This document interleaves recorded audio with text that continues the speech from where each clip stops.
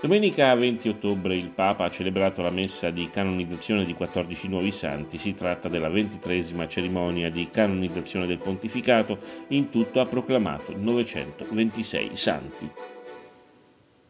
La fede e l'apostolato che hanno portato avanti non ha alimentato in loro desideri mondani e smanie di potere, ma al contrario la canonizzazione ha avuto luogo a Roma durante la seconda sessione dell'Assemblea del Sinodo sulla sinodalità.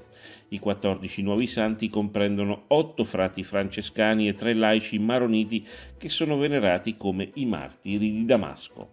Furono uccisi in odio alla fede a Damasco in Siria nella notte tra il 9 e il 10 luglio 1860.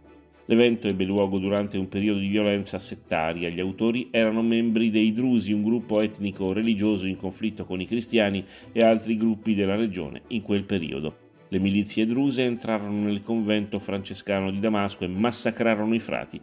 Manuel Ruiz e compagni, insieme a tre laici che erano fratelli biologici, Francesco Abdelmoti e Raffael Masabchi.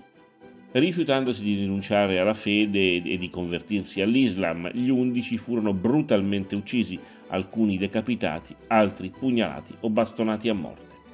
Una delle due donne canonizzate il 20 ottobre è Elena Guerra, conosciuta come Apostola dello Spirito Santo.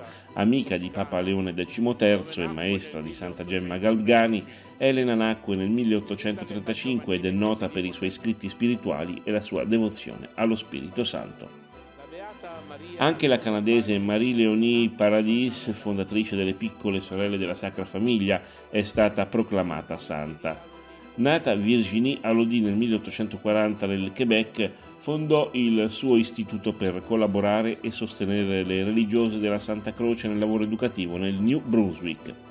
Il sacerdote italiano Giuseppe Allamano, anch'egli canonizzato, ha fondato due congregazioni religiose, i missionari della Consolata per gli uomini e le suore missionarie della Consolata per le donne.